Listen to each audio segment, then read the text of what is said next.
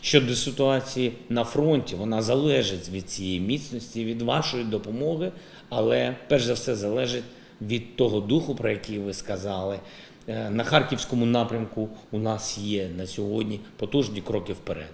На сході нашої держави дуже складна ситуація. До 100 людей на сході держави, де Росія зібрала всі свої війська на сьогодні, все, що в них є, на сході держави, до 100 людей гине сьогодні щодня. Гине. І біля декількох сотень людей, 450-500 людей навіть іноді буває поранених щодня. Це на сході нашої держави. Там іде битва. Битва саме за все це битва за, за ці цінності. Тому я хочу, щоб всі усвідомлювали, що після деокупації Києва і деяких областей нашої держави війна продовжується, і сотня людей не дочекається щоденно, сотні сімей не дочекаються своїх близьких е, щоденно. І, і тому це для нас е, великий, великий виклик.